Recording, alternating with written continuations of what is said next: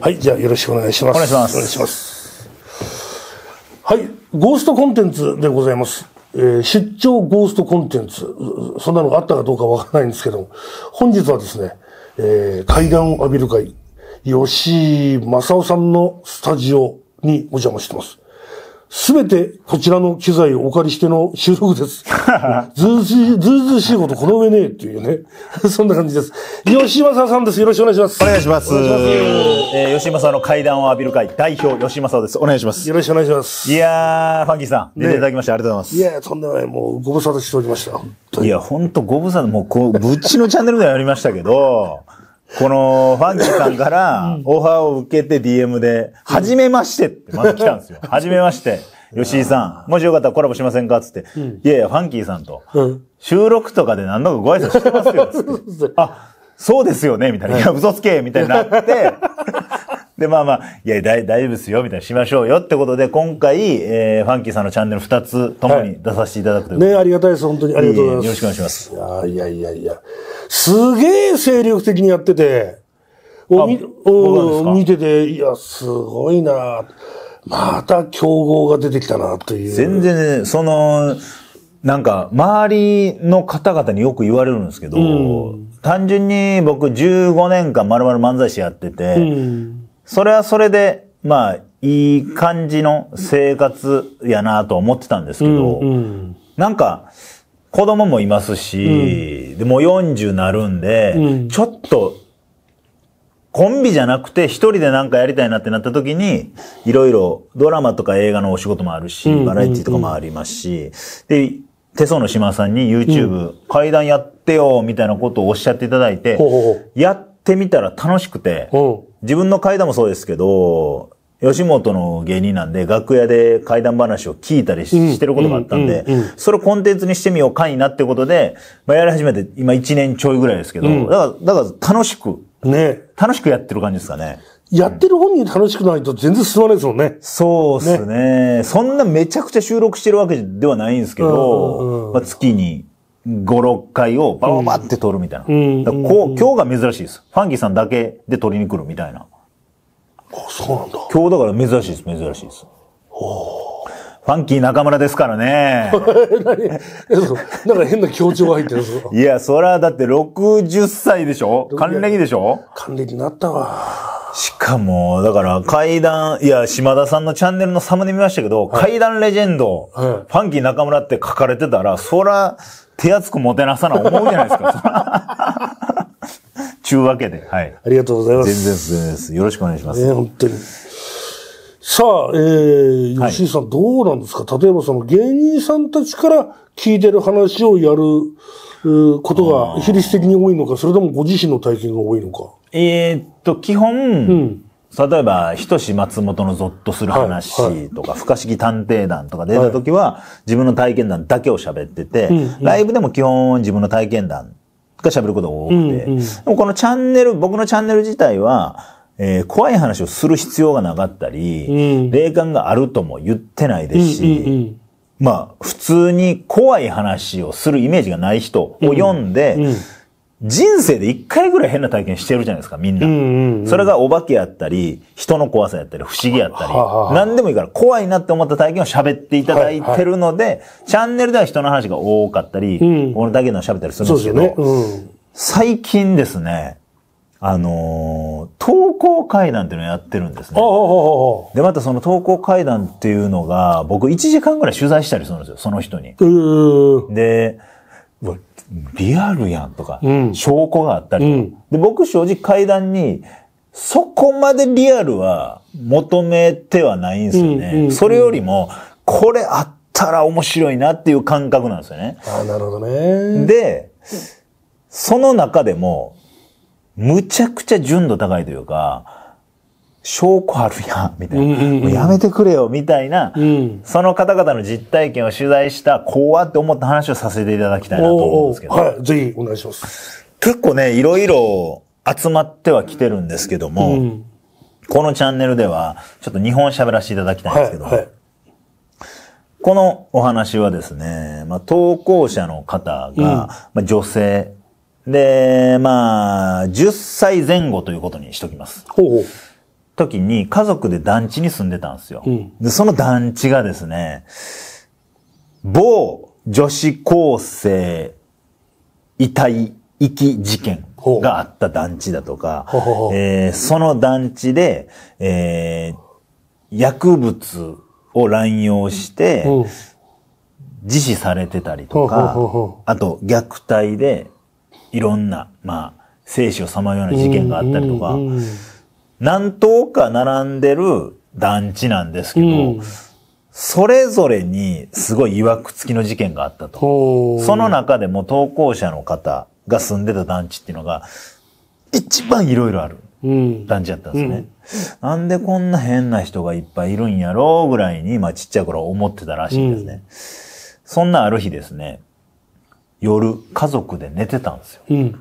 寝てて、その投稿者の10歳の女性はですね、金縛りに遭うんですよ。うん。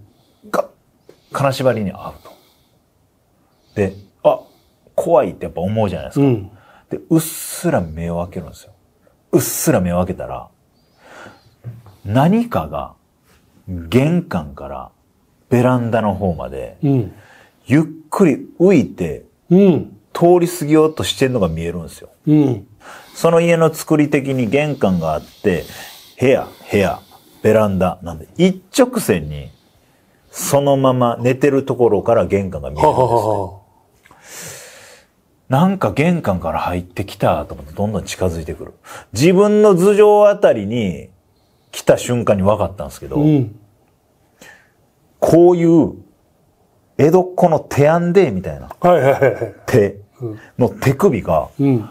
ゆっくり自分の頭上を通過していくんですよ。ほう。手首だけじゃ。はい。で、金縛り中にこれなんやと思って、むっちゃ怖いんですよ。うんむっちゃ怖いけど、そのまま部屋通過してくれって思って、ベランダの方に行ったら U ターンしてお、次は玄関の方に手編んでの手首がゆっくり向かっていくんですおよう。これは何の夢なんやと思って、その手編んでの手首が、玄関のドアをすり抜けた瞬間に、ピンポンピンポンピンポンピンポンピンって、トントントントントントントントンつって、うん。ちょっとマロンさん、マロンさん、早く起きて、早く起きて、早く起きてつって。誰かが来るんですよ。で、お父さんとお母さんが眠い目こすりながら、ど、ど、どうしたの？つって。言ったら、まあ、隣のおばさんやった。んで、うん、うん、え？うん、うん、わかったわかった、ありがとうありがとうつって。なんか会話が聞こえてくる。で、親二人がドドドドドドって走ってくる。あったかい服着て、とりあえず家出て、家出て、家出てつって。で、もうドキドキしながらバーッと家から出ていくおう。3階やったんですけど、カンカンカンカンカンって螺旋階段バーッと降りていく。1階に降りた瞬間に、自分の住んでる部屋の下の階、うん2階ですね。2階から、警察が、こう、うじゃうじゃうじゃうじゃ。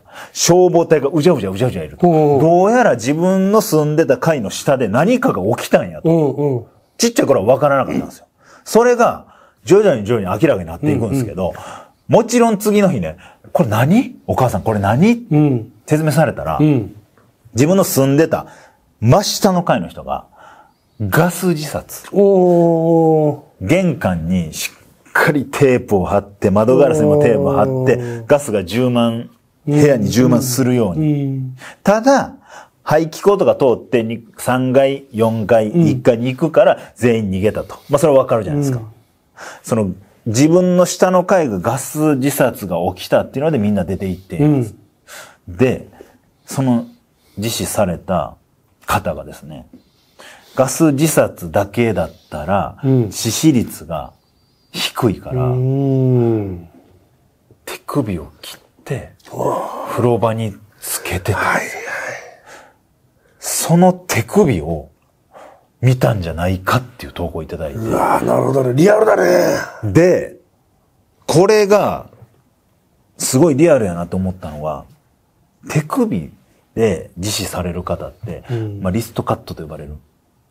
踏ん切りがつかない人が多いらしいんですよ。うんうんうん。で、自分の、ここら辺やったら大丈夫大丈夫が分かっちゃうから、脳で、もう、神経、無神経というか、無意識の状態で、ざっくり知識まで切れへんと。うん。だから、保険でガス、プラスお風呂っていうので、亡くなられたっていうのを聞いて、むちゃくちゃリアルやん、みたいな。すごいね。もう、科確実な線を狙ったんだね。で、やっぱその土地柄があるんじゃないかなとはやっぱ思うんですよね。その後日談とかいろんな話聞きましたけど、やっぱり有名な事件とか、まあ、ヤフーニュースが調べたら、むごい事件が結構そこの団地で重なってるから、うわー、しんどーみたいなことを、自分のチャンネルで、同行会談で話させていただいたんですよ。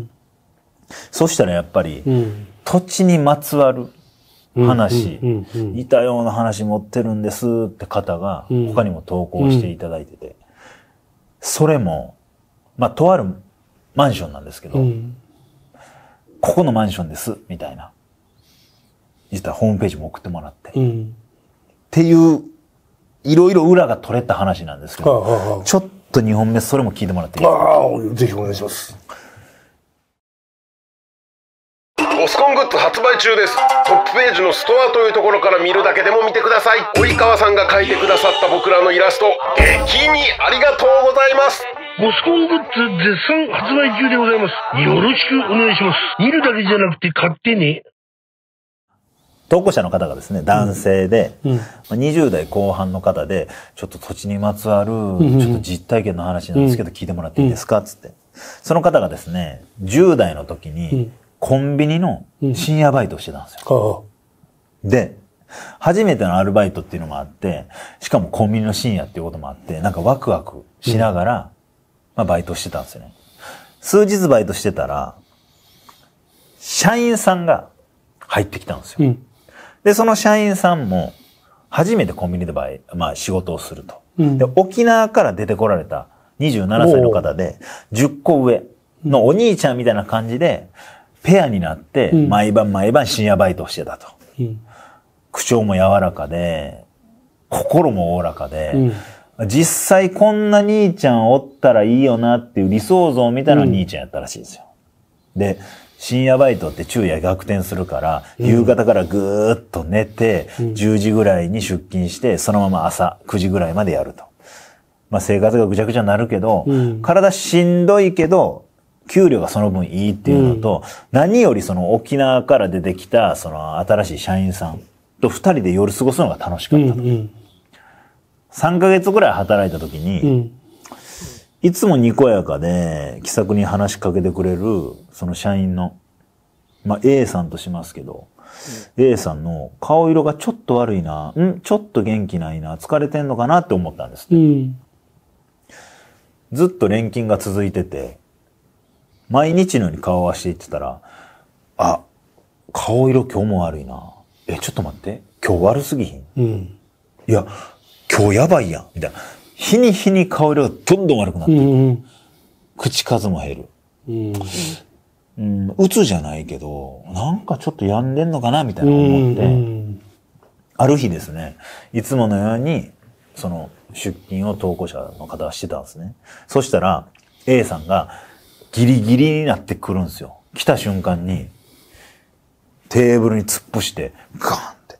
うん。ちょ、どうしたんですかと。うん。いや、もう、ちょっとしんどくて、つって。いや、あと10分でもう出勤ですよ、つって。うーん、そうやねんけど、つって。な、何があったんですかつって。うん、まあ、後で詳しく喋るわ、つって。出勤中ね、いろいろ聞くんですよ。そしたら、なんか変なこと起こって、うん、もちろん階段を浴びるかに投稿してくださるような方ですから、うんうん、そういうなんか不可解なことにはすごい興味、勝手なビンビンに引っ張、うん、まあ、立ててるから、うん、どういうことかって聞いたらしいです。はい、A さんがね、うん、数日前から、変な夢見んだよ。夢うん。どういう夢ですか？つって。寝てます。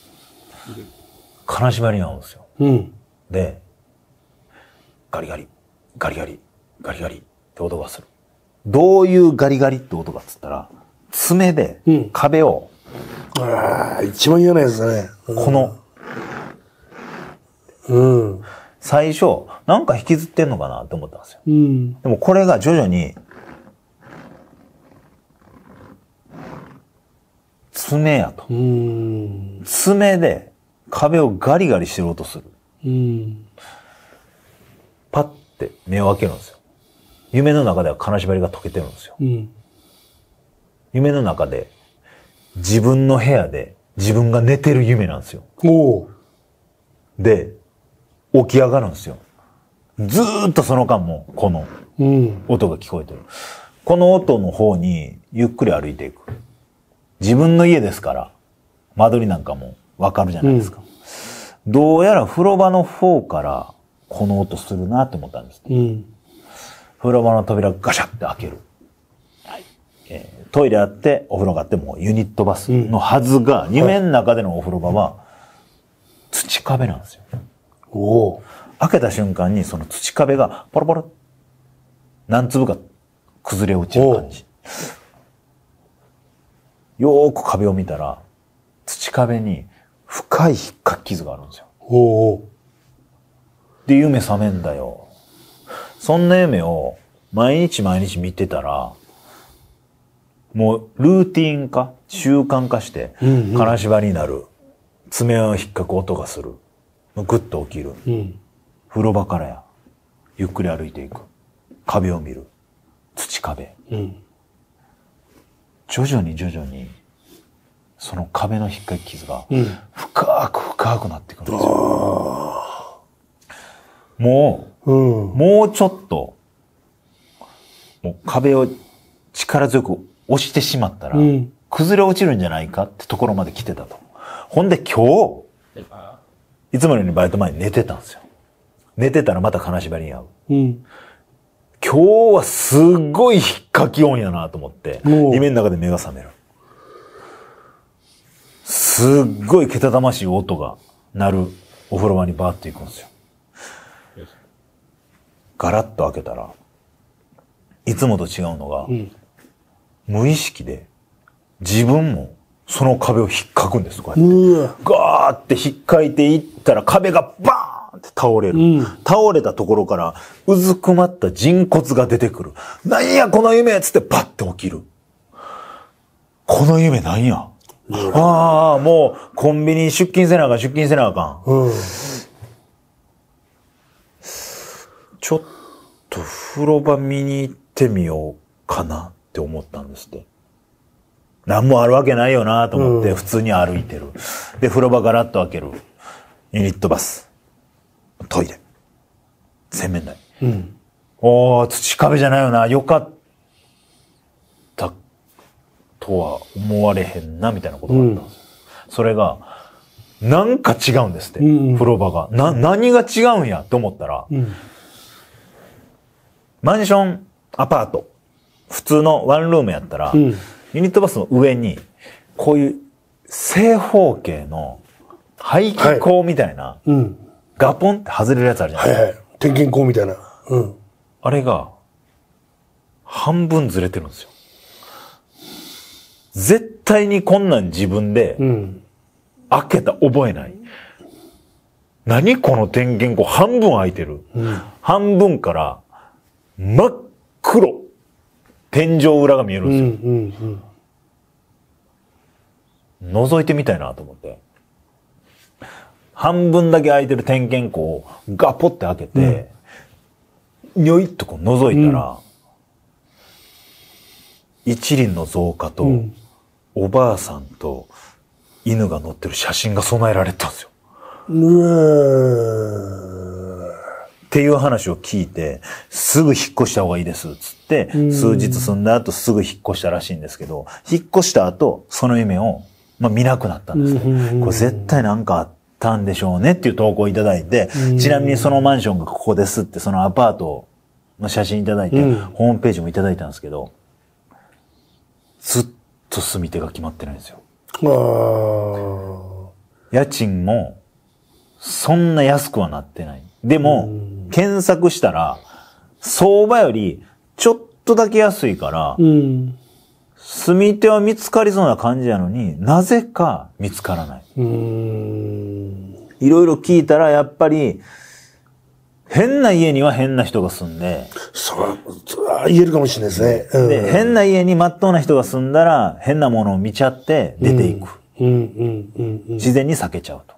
僕の前住んでた家でも、一室だけめっちゃ変な人が、もう入れ替わり立ち替わり住んでる部屋があったんですよ。あまあそういうこともあるんじゃないかなってあ、なるほどね。思ったといううんお話です。ありがとうございます。あります。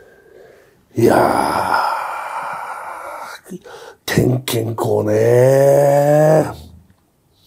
俺ね、嫌いなんだわ、あれ。点検口。もう今まで一回だけじゃないんだけど、その、しかも旅先でだよ。ね。ビジネスホテルとかビジネスホテルとか。ねうん。シャワー浴びて、まあライブの会場へ行って仕事終わって帰ってきて、また汗なんかしたいから入ろうと思う。で、ひょってみると開いてんだよ。俺はいつも気になるから、あ、またここの点検口ある風呂だと思って、必ず見るからちゃんと閉まってることも確認してんの。なのに帰ってきたら、開いて、しかもこう中でもってグッてずれてんの。いやー、冗談じゃねえなと思って、どうすっかな、まあそ、そんなに暑い日でもないから、いいか、風呂と思って入らないで、だけどトイレバスだからトイレは入らなくちゃいけないじゃない。それで寝ようと思ったんだけど、どうしてもさっき飲んだビールのあれが効いてるもんだから、ああ、ちょっとおしっこしたくなっちゃったら、まあいいや、とりあえずししてこよう。トイレ行って、こう、用足しながら、で見ると閉まってんの。閉まってんねそう。いやもう、ぜ絶対なんかあったじゃん、この部屋っていうね。あとはガコン、ガコン、ガコンって音がしてなんだろうと思って見に行ってみたら、ブラブラブラブラって埃がこう落ちてきつつ、今開いたって感じのが見たことあるよ。なんかまあ、点検口にまつわる話って何個か、やっぱ送られてはくるんですけど、その、一輪の増加ねが、ちゃんと瓶に備えられてて、はあ、はあ、おばさんと犬の写真が備えられてたっていうのが、なんかこれ、大家さんがそれを備えたんじゃないかなとかも思っちゃうし、確かに確かに。むちゃくちゃリアリティあるなって思って。ねえ。いや、本当だね。そうだな、大家さん。大家さんだろうね。多分絶対そうだと思いますね。証拠が出ちゃうっていうのがね。なんか、まあそういう、がっつり、ね、他にもちょっと裏が取れたというか、うわ、なんか絶対あったやんと話をちょっと今回聞いてほしくて、ちはいょっと話させていただきましはい、ありがとうございます。さあ、えー、吉井正夫さん、階段を浴びる会主催でございます。